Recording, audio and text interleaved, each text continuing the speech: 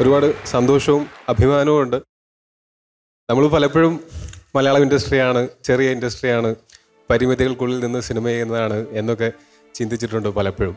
പക്ഷേ ഏത് ഇൻഡസ്ട്രിയിൽ എത്ര വലിയ ഇൻഡസ്ട്രി ആണെങ്കിലും എടുത്തു വയ്ക്കാൻ ഓൾമോസ്റ്റ് ഇമ്പോസിബിൾ ആയിട്ടുള്ള ഒരു സിനിമയാണ് ആടുജീവിതം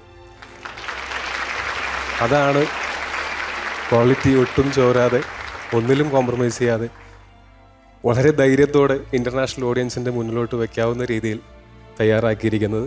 അതിന് തീർച്ചയായിട്ടും അഭിനന്ദനങ്ങളെക്കാൾ കൂടുതൽ നന്ദിയാണ് ബ്ലിസ് സാറിനോടും ഈ സിനിമയുടെ ഭാഗമായിട്ടുള്ള എല്ലാവരോടും പറയാനുള്ളത്. ഞാൻ രണ്ടായിരത്തി പന്ത്രണ്ടിലും ആണ് ആടുജീവിതം വായിക്കുന്നത്.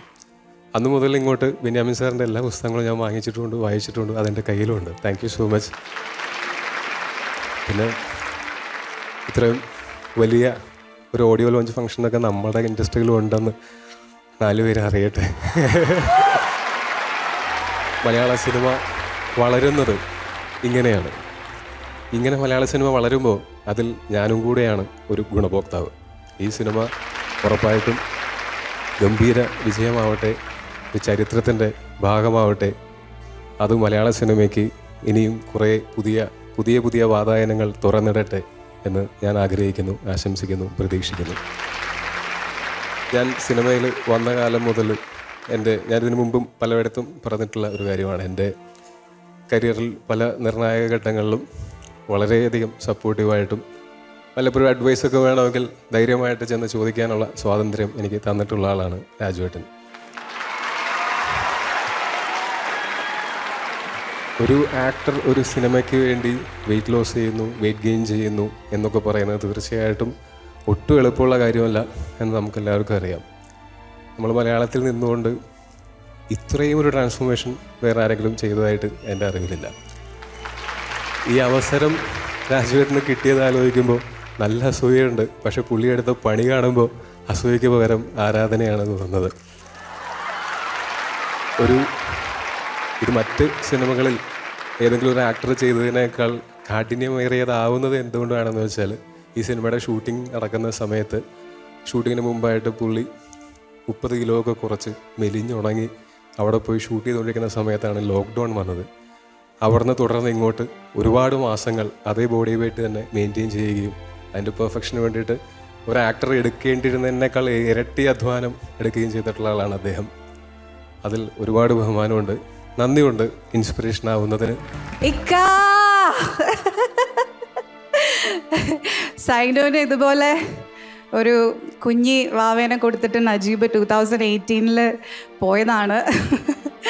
അത് കഴിഞ്ഞിട്ട് ഇപ്പോഴാണ് seeing Najeeb again and seeing the entire crew again I feel it's it's a divine coincidence that you know ഈ പടത്തിന്റെ audio launch and the movie's releasing and i am also having a baby inside my tummy it really feels like a divine coincidence എനിക്ക് ഞാൻ actually ആടുജീവിതത്തിൻ്റെ honeymoon ഫേസിലുള്ള ആളാണ് എനിക്ക് നിങ്ങളിപ്പോൾ ഈ കണ്ട ഈ സോങ് ഇതാണ് എൻ്റെ എൻ്റെ ആടുജീവിതം നമ്മൾ ഷൂട്ടിംഗ് സ്കെഡ്യൂൾ സ്റ്റാർട്ട് ചെയ്തത് ആഹ് നല്ല പച്ചപ്പും ഹരിതാപവും ഒരുപാട് വെള്ളവുമുള്ള നമ്മുടെ കൊച്ചു കേരളത്തിലാണ് ഇതിന്റെ ഷൂട്ടിംഗ് സ്റ്റാർട്ട് ചെയ്തത്.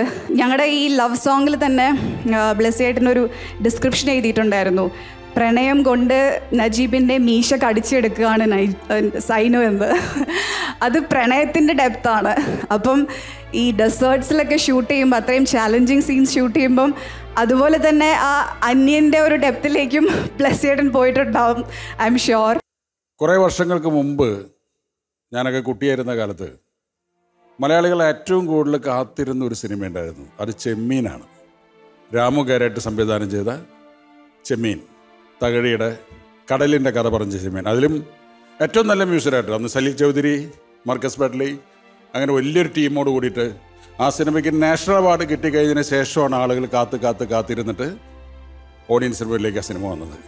അതിന് ശേഷം മലയാളികൾ ഒന്നടങ്കം കാത്തിരിക്കുന്ന സിനിമ ആടുജീവിതമാണ്. കാര്യം തകഴി പറഞ്ഞ കടലിന്റെ കഥയാണെങ്കിൽ ബെന്യാമൻ പറഞ്ഞിരിക്കുന്ന മരുഭൂമിയുടെ കഥ.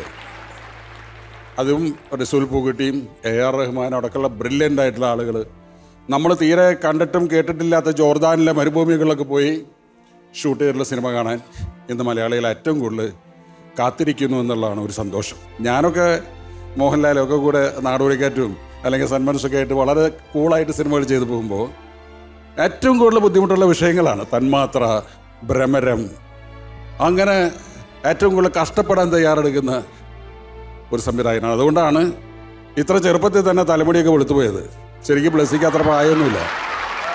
അപ്പോൾ അത്രയും നല്ലൊരു ആത്മാർത്ഥമായ ഒരു സംവിധായകൻ സമീപിക്കുന്ന സിനിമയാണെന്നുള്ളത് തന്നെയാണ് ഏറ്റവും വലിയ സന്തോഷം. അതോടൊപ്പം തന്നെ പൃഥ്വിരാജിന്റെ ഭാവപ്പകർച്ചകൾ ഞാൻ അതിന്റെ സ്റ്റിൽസൊക്കെ കണ്ടിട്ടുള്ളൂ. ഒരു സാഹിത്യത്തിന്റെ പിൻബലമുള്ള നടന് മാത്രമാണ് അതുപോലെ ആ കഥാപാത്രത്തിന് വേണ്ടി രൂപം മാറ്റാൻ സാധിക്കുക. അത് എനിക്ക് തോന്നുന്നത് സുകുമാരേട്ടന്റെ അനുഗ്രഹമാണ്. സുകുമാരേട്ടന്റെയും മല്ലിക ചേച്ചിയുടെയും ഏറ്റവും കൂടുതൽ പുസ്തകങ്ങൾ വായിക്കുന്ന നടനായിരുന്നു സുകുമാരൻ. ഞാൻ എന്റെ ആദ്യത്തെ സിനിമയുടെ നായകനാണ്. ബ്ലസ്സിക്കും എ. ആർ. റഹ്മാനും റഫീഖ് അഹമ്മദിനും ബെന്യാമിനും എല്ലാ ആശംസകളും നേരുന്നു. നന്ദി നമസ്കാരം.